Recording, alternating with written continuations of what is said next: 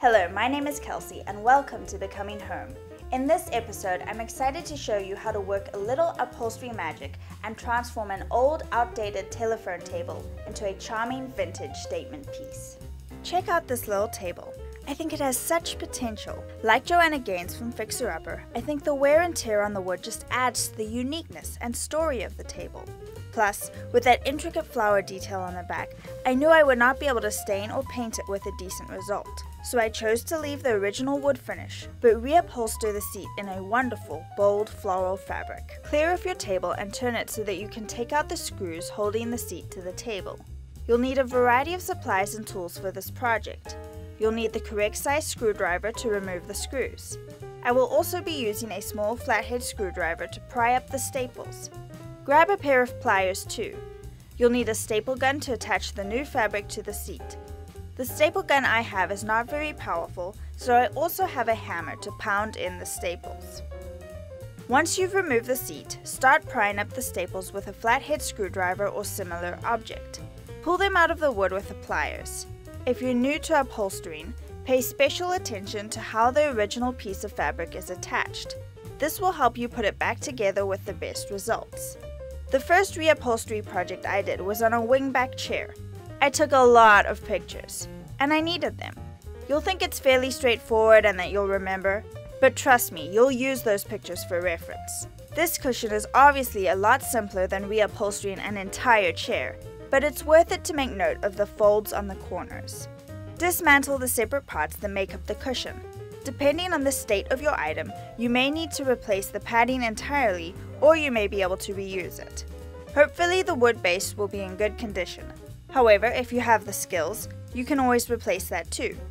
Since the seat is fairly thin and uncomfortable, I decided to add some batting to the cushion. I love the slim, delicate silhouette of this phone table, so I didn't want to make it too plumped and domed. I wanted to keep the flat profile but raise the comfort level.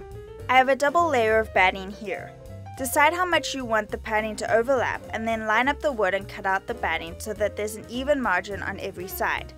Make sure the wood is centered. If you start stapling at this point, the corners will be bulky from the extra padding, so decide how much you want to remove while also hoping that you don't remove too much. Cut out one corner and test it before cutting out the rest. I used a Sharpie to keep track of my corners. I decided a 90 degree cutout wasn't slim enough, so I cut out an obtuse triangle. As you can see, the base is not a perfect square, but is cut out to where it meets the seat back. I traced this and then roughly cut the batting away. Once I started attaching it, however, I ended up cutting it exactly to the pattern. On the front of the chair, you want to protect the back of the sitter's thighs from the sharp wood edge. But on the back, this doesn't come into play, so you can get away with removing more material. Once you've cut out your corners, you can start stapling and in my case hammering the batting to the wood. Before you start, make sure that the base is turned the right way up. Otherwise, you'll cover your entire seat only to realize that the holes for the screws are on the wrong side. Staple your way around the perimeter, making sure that the corners are neat and the fabric is smooth and tight without being pulled awkwardly. After I placed the original cushion on top of my batting, I tested the thickness. I decided I hadn't reached the desired level of comfort, so I added more batting. Even though I decided to add more, I still didn't want the edges to be too bulky. To combat this, I cut out one layer of batting to the exact dimensions of the base so that it wouldn't bulk up the sides. I then cut a second layer so that it would overlap by a couple inches and hold everything together. Remember that you now have additional material on your base that you need to cover, so you'll probably need more of an overlap than before. Stack all your components and make sure the final layer has enough overlap before you start stapling. I'm testing the padding one more time to make sure I'm happy with the cushiness. If not, this would be a good time to add additional layers of batting. To do this, I would have cut out the exact pattern of the base and stacked these until I was satisfied. This way you can add more padding to the top without bulking up the sides. For instance, if you decide to add 6 layers but wrapped and stapled them over the edge, you run the risk that the cushion will not fit back on the table because of the added bulk and increased width. The process for this final layer of batting is pretty much the same as the first. I marked the edges with Sharpie, removed bulk at the corners, and then started stapling and hammering away. Since this was the final layer, I took extra care that everything was neat and smooth without being pulled too tightly or unevenly at any point. I also made sure that there were no layers poking through any gaps. The last layer should pull everything together into a tidy, self-contained package. This will make it much easier to handle when you're working with your new fabric. Spread your chosen fabric on the ground. Depending on the type of fabric you removed from the cushion, you may be able to use it as the pattern for your new fabric. Just remember that if you've added padding, the original dimensions may not give you enough overlap. The air quotes fabric I removed was a stiff plastic material, so this method didn't work for me. Depending on the pattern on your fabric, you may need to be picky about which section to use. I chose a bold floral pattern and I particularly wanted that gorgeous orange pomegranate to be center stage. If you have stripes, make sure they're straight and go in the right way when you orient your cushion onto the table. Similarly, with my floral pattern, I wanted the bottom of the pomegranate to be facing the viewer so that the scene doesn't look upside down. These are all things you need to take into consideration when aligning and cutting out your fabric. The base probably fits on the table only one way, so if you staple the fabric on the wrong direction, you'll have to remove the staples and do it again. I laid my base over the section I wanted to use, taking care that it was placed exactly where I wanted the design to be. I then used a pencil, no sharpie on your fabric please, and a ruler to measure out 4 inches from the edge of the base. I drew straight lines and then cut out the fabric. Once you've cut the fabric, fold over the edges one more time and make sure that the design looks good and that you have it oriented correctly. You can even place it back on the front table to make sure it fits and faces the right way. Now for the most exciting part, stapling your gorgeous fabric of choice onto the base. Bring the corner of the fabric over the corner of the base. Fold the edges of the fabric in so that it creates a neat line. If this is the front edge of your chair, these corners and lines will be visible, so you want to make sure they're neat and even on both sides. Make sure there are no unwanted pleats or wrinkles in your fabric before stapling it down. Work your way around the base, making sure the fabric is tight and smooth, but not too tight. Repeat the same process on the other corners of the chair, so that the corners all look uniform and neat. Make sure you're putting in enough staples to hold the fabric securely, especially if you plan on sitting on the seat. If you take your time and do it properly, this reupholstery project will last years. I found this piece of furniture while visiting my grandparents in Paducah, Kentucky. We went down to the historical district by the river, ate lunch, and browsed through a couple of antique stores. This telephone table, also known as a gossip chair, was sitting outside the door, on sale for a reduced price of $15. Needless to say, the charm and the price caught my eye.